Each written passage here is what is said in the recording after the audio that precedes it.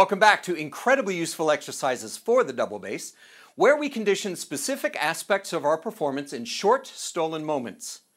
Today, we'll drill our shifting technique and left-hand finger action in short, quick, whole and half-step patterns. Let's play the three-note progressive scale by the amazing Jeff Bradetich, the Regents Professor of Double Bass at the University of North Texas School of Music. I want to thank Joey Naeger for his generous support of this series. Joey has been my go-to luthier for over five years. He sculpted my fingerboards buzz-free on both my 1850 English orchestra bass and my solo bass, making them so easy to play, and his tone work on my basses keeps them sounding full, free, and beautiful. Many professional working bassists throughout Texas rely on Joey for fixing and maintaining their treasured instruments. The Joey prize winning basses are also wonderful instruments. Please visit Joey's website listed below, and if you happen to be in the Houston area, pay him a visit to play his basses and to see how he can improve the playability and tone of your instrument. Three note progressive scales are two minutes long, control is high at five, velocity is four, power and endurance are three, mindfulness is two, and coordination and expression are one. We practice these for the exercise and conditioning of a fast, accurate, and powerful left-hand finger motion, and for the exercise and mastery of precise tuning using a trichord, which is a fancy word for a three-note scale. These are a bedrock exercise in my technical repertoire. I've been doing them since around 1989, and I've kept them in my rotation to keep me in touch with the feel of micro shifts across the whole fingerboard. I always feel better after playing these. But if you're learning these for the first time, just know that there is a learning curve. It's small, but it does need your attention before you move on. Here's the pattern.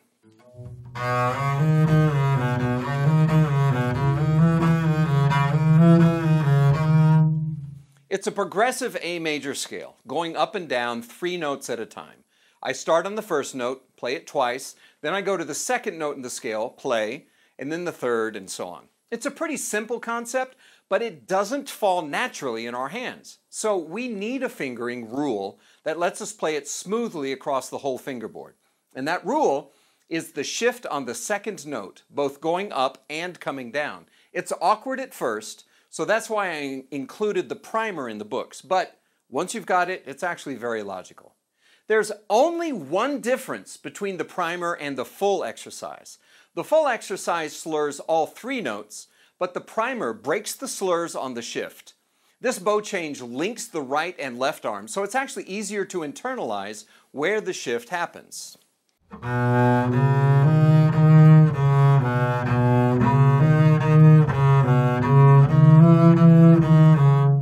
If you're just learning this, I recommend playing the primer once a day for a week.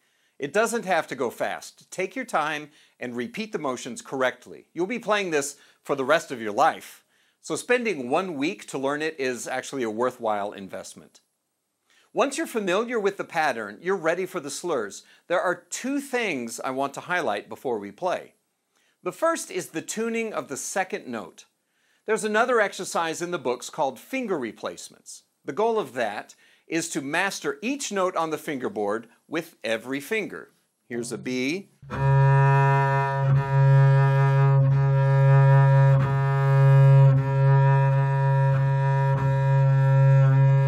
Remember that we play pitches, not fingerings. The fingerings are just a means to an end. We need to play in tune. In our three note patterns here, when we move up, the middle note is played with a different finger than coming down, but it's the same pitch. So if you're not careful, that note could have two different tunings, and no one wants that. If I play the progressive scale but isolate the middle note, I'm really doing the same thing as finger replacements.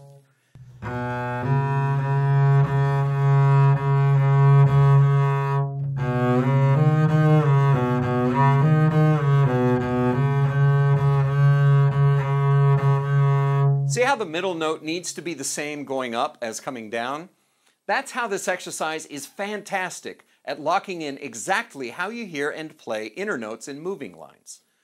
Also, when you shift in the slurs, you want your shifts to be accurate, but also very quick. To build velocity, release the weight of the finger slightly during the shift. That reduces tension and resistance. The quicker you go, you'll find your hand shapes start to lock into place. And this exercise really trains and rewards a good hand shape with no drifting or flyaway fingers. Once your hand takes shape, your intonation will improve in leaps and bounds. The second highlight is how we handle the left arm transition between the lower octave and the upper octave. Playing on the neck is easy, and playing in the upper octave is easy, but managing the break around the neck block takes some work. In the lower octave, we play the top notes with the fourth finger. In the upper octave, we play with the third finger because the angle of the arm throws the fourth finger off to the side. At some point, we have to change from fourth to third, and there are a few options and schools of thought on this. One of Jeff Bradetich's signature fingerings is third finger on F sharp right there. You'll see him and his students using that all the time, and it's great. It's practical because in that position, the distance from E to F sharp is about the same as it is on a cello, where they use third finger, so it makes sense. Most people use that system when they play the three note progressive scale. The opposite school of thought, which trains the fourth finger here, is represented by an Italian bassist named Isaia Billè. He lived from 1874 to 1961 and left us with a beautiful bass method in seven volumes. He used his fourth finger all the way up to A and B in thumb position. That's not used much today, but I've actually found some pretty strong applications of fourth finger up high. So don't ignore it when you're looking for solutions. So there's no one right way to do this, but it is important for you to choose exactly where you're going to make the switch and stick to it for at least three months. After the pattern is solidly in your muscle memory, then start playing around with options. They'll make more sense that way. So here's how we do it. I'll play all three versions so you can choose which one is best for you. I shift on the second note of each pattern. I'll release the weight of the shifting finger slightly during the shift. I'll focus my listening on the tuning of the ascending middle note with the descending middle note in each pattern, and I'll lead the shifts with my elbow in the lower octave. Before I play, I plan my recovery strategy because once I start, I don't let any mistake or fatigue stop me, just like in live performance. I'll keep my fingers close to the strings and work to avoid flyaway fingers. Like all of the other exercises, if I lose my rhythm or miss a shift, I'll slow down until I find my place and then continue. Ready? Here's the lower octave. One, two, ready, go.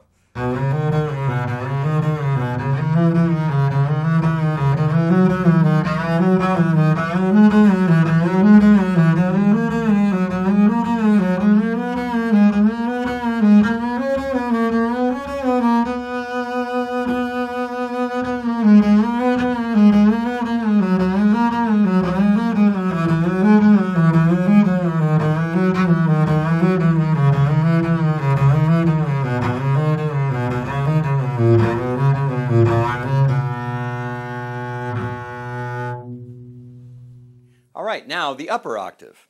Ready? One, two, ready, go.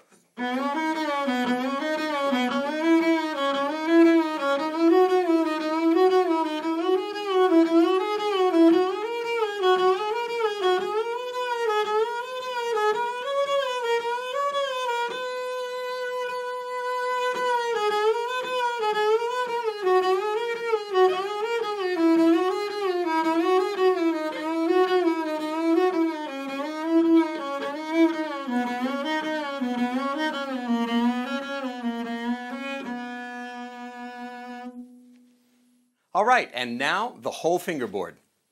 Ready, one, two, ready, go.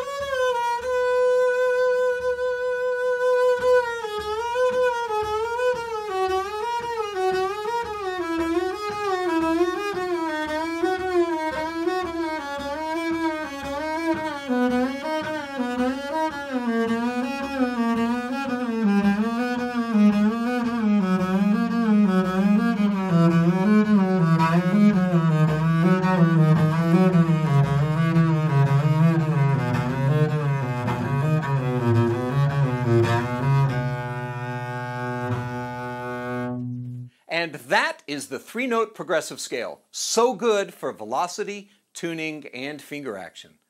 For more exercises like this, and for more insight into the virtuosic technical and musical mind of Jeff Bradetich, go buy his really wonderful book, Double Bass The Ultimate Challenge, at his website, bradetichfoundation.org. The link is in the description. This exercise is highly customizable especially in the upper octave. The fingerings in the second octave are flexible. Some of you have different fingering systems near the end of the fingerboard, so use what you're comfortable with. At some point in the upper octave, you really don't have to shift. Those of you with large octopus hands will be able to play the upper octave three note patterns pretty much with no shift. And drilling your whole step, half step patterns up here is also an incredibly useful drill. I do recommend keeping the fingerings in the lower octave as written, though. Do what's best for you, work it every week, and enjoy your new superpower. Thank you very much for joining me today. I hope you find the three note progressive scale as useful for your performance as it has been for mine. I present this in the way that I've used and benefited from it. It's not the only way to practice or approach finger action and quick shifts. Adapt these ideas to your style of curiosity, conditioning, playing, or teaching. Practice this and all exercises in the series in short, stolen moments, or incorporate them into your regular conditioning routine.